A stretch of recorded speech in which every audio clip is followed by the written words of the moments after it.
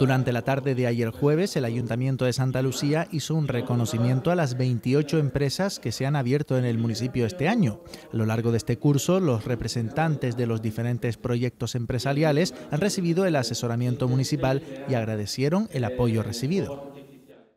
Todo el asesoramiento para informando a la empresa, mejorando el tema de de captar clientes y todo eso. Apoyo, pues una sesión en la que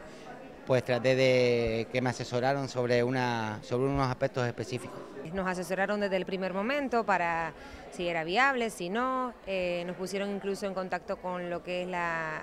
la entidad financiera la corporación municipal seguirá comprometida y respaldará a las personas emprendedoras con programas de formación continua, charlas, talleres, cursos, asesoramiento legal y promoción en los medios municipales. La primera edil aprovechó para felicitar en nombre del ayuntamiento la importante labor de los empresarios para seguir avanzando en el desarrollo del municipio. El avance de Santa Lucía ha sido gracias al comercio, ha sido gracias a los servicios que se han instalado, ha sido gracias al, sector educativo, al ámbito educativo, que hemos tenido siempre muchísima gente implicada en ese sector, ha sido gracias a un montón de sectores, pero el sector o el ámbito más importante han sido las personas, personas, hombres y mujeres como ustedes, que a lo largo de todos estos años han sido los que han soñado, han imaginado otro futuro y lo hemos conseguido.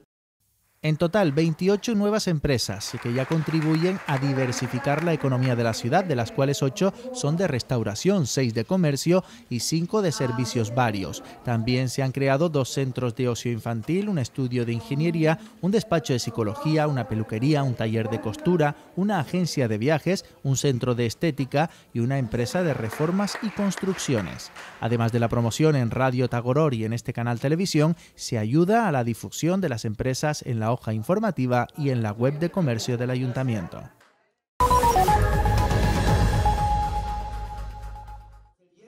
Con la fiesta de la piscina instalada en el punto J, en la que ayer jueves hubo cócteles sin alcohol, helados y karaoke, la juventud del municipio de Santa Lucía dio la bienvenida al verano. Durante los meses de julio, agosto y septiembre, el Ayuntamiento de Santa Lucía ha programado con la participación de los jóvenes a través de la Fábrica de Ideas más de una docena de actividades y ocho talleres formativos. Hoy viernes, en este canal televisión, a partir de las 10 menos cuarto de la noche, se proyectará Dos Puntos y Aparte, un programa de arte, música, cultura, deportes que también estará disponible en YouTube. El viernes 13 de julio a las 8 de la noche continúa la programación en el Punto J con 12 lunas, una actividad que traerá teatro y cine. El grupo actúa llevará al escenario escenas de películas que han hecho historias en el séptimo arte. El sábado 14 en el Punto J se organiza una excursión a la playa de amadores con sesión de hinchables acuáticos y el viernes 20 de julio a partir de las 6 de la tarde también en el Punto J se celebrará el Salpícate 18,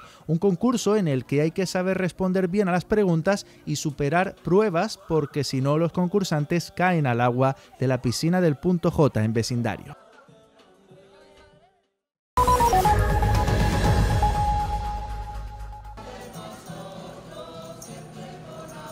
Continúan celebrándose las fiestas del Buen Pastor en Casa Pastores. Este jueves a las 7 de la tarde se desarrolló la fiesta homenaje a los mayores, con reparto de churros, y a las 9 de la noche se dio el pregón a cargo de Francisco González, que fue párroco de Casa Pastores e impulsor de la construcción de la iglesia del Buen Pastor. Semilla bien plantada